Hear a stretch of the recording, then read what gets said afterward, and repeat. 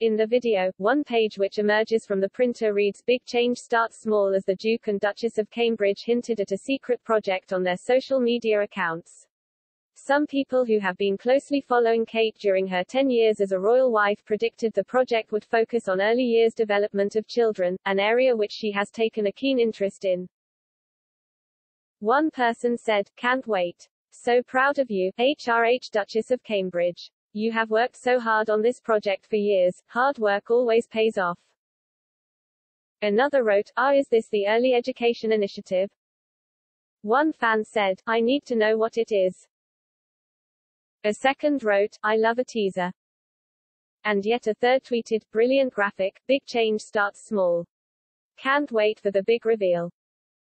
Others appeared overly excited about the Cambridge's upcoming announcement. Some predicted their latest news would be massive while others said they felt so excited for this project. Kate, 39, has for years campaigned to raise awareness about the important role the first few years of a child's life plays in their overall development.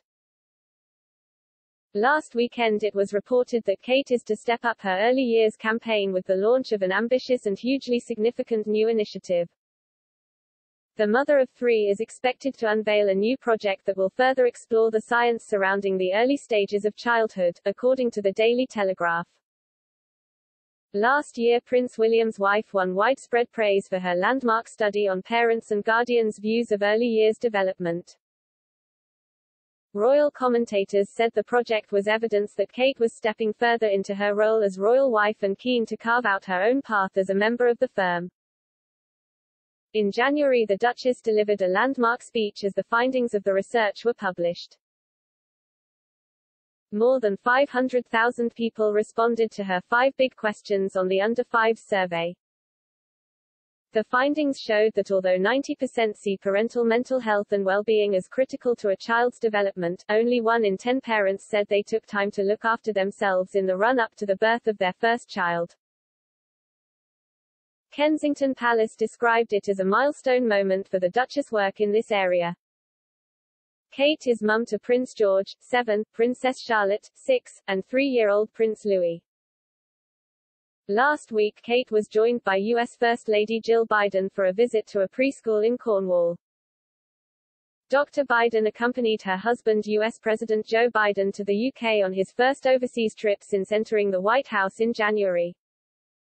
The two ladies called on both their nations to treat early childhood care as a priority.